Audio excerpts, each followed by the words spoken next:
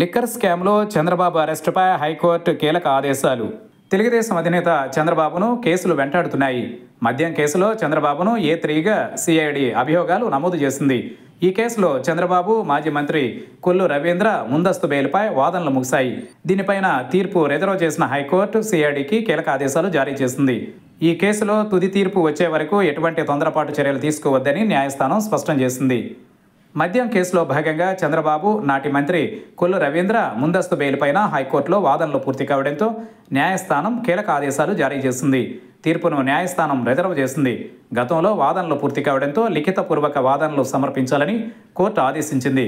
Court ఆదేశాల మేరకు Chandrababu CID తరఫు న్యాయవాదులు లిఖితపూర్వక వాదనలు సమర్పించారు. తదుపరి ఆదేశాలు వచ్చే వరకు అరెస్టు చేయవద్దని గతంలో ఇచ్చిన మధ్యంతర ఉత్తర్వులను కొనసాగించాలని హైకోర్టు స్పష్టం చేసింది. తీర్పు చెప్పే వరకు చంద్రబాబుపై ఎటువంటి తొందరపాటు చర్యలు తీసుకోవద్దని హైకోర్టు ఆదేశాలు జారీ చేసింది. మద్యం దుకాణాల లైసెన్సుదారులకు రెండు వేల పదిహేను పదిహేడు కాలంలో ప్రివిలేజ్ ఫీజు విధింపు నిబంధన తొలగింపునకు ప్రతిపాదించిన ఫైలు నాటి సీఎం చంద్రబాబు వద్దకు రాలేదని ఆయన తరఫు న్యాయవాదులు కోర్టుకు నివేదించారు. నాటి ఎక్సైజ్ మంత్రి కమిషనర్ స్థాయిలోనే ఆ నిర్ణయం జరిగిందని వివరించారు. ఫైలును ఆర్థిక శాఖకు పంపకపోవడాన్ని సిఐడి ఆక్షేపించకపోవడం సరికాదన్నారు.